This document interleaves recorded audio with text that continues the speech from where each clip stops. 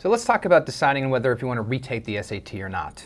If you're on the fence and you've only taken it once, it might be worth retaking, for, for probably for two reasons. The majority of students typically tend to improve this score on the second time around.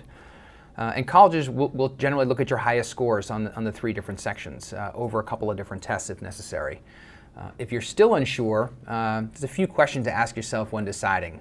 So the first thing would be, where do you stand with the schools that you're interested in? Uh, one way of being able to do this is to look at the, the, the, data that the colleges will publish. So most schools will publish their SAT data uh, in percentiles. And what, and what, they do is give you a range. So they generally give you the 25th percentile to the 75th percentile. So what that means is 25% of their students fall below this range who were enrolled at the school, uh, and 25% fall above this range who were enrolled at the school. The numbers they give you are sort of the middle group of students.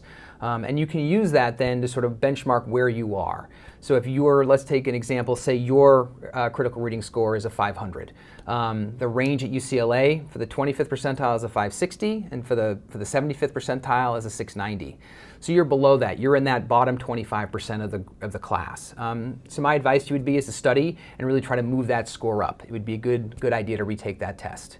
If you scored a 600 on the critical reading for the SAT, uh, then you're certainly more competitive at UCLA. You are between the 25th percentile and the 75th percentile.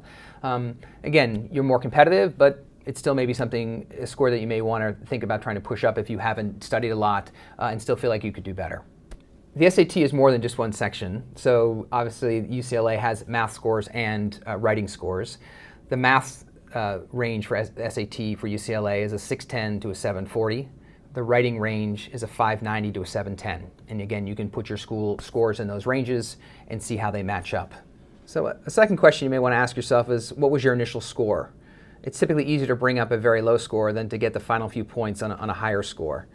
Uh, a third thing to maybe think about is, you know, your results compared to your expectations. So, you know, if you did a lot of studying, you took some practice exams, and you did about the same as you did in the practice test, you know, that may be where you're going to be. If you scored a lot higher on a practice test, you may want to think about, you know, taking it again, uh, taking that second time may be more comfortable, and you may be able to achieve the results you've done in practice tests. Uh, and finally, you know, that, that preparation piece is important, so making sure you spend time and really understanding the test to do the best you can do.